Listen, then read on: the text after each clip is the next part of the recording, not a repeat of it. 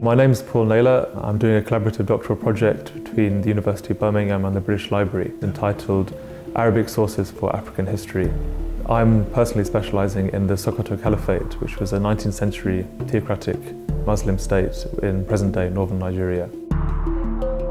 For this programme I have two supervisors. One is working at the Department of African Studies and Anthropology here in Birmingham and the second is a curator of uh, Africa collections at the British Library.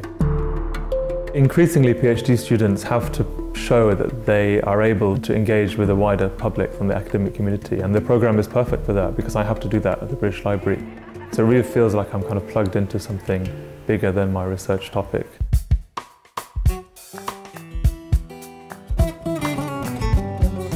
Working on the West Africa Word Symbol Song exhibition was a fantastic experience. I was cataloguing these manuscripts, I came across something interesting, told my supervisor, and the next week I find that it's on the exhibition list of items that will be shown to the public. It was very exciting to see items in the collection that I was working on on display.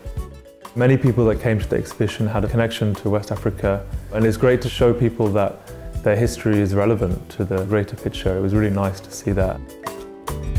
Around about every month they do this late at the library. During the exhibition these were West African themed. So it was great to see a workplace turned into this party. This collaboration has taught me how good it is to collaborate. I hope that I can use the contacts I've made, the experience I've had at these two institutions and continue that after I've finished the programme.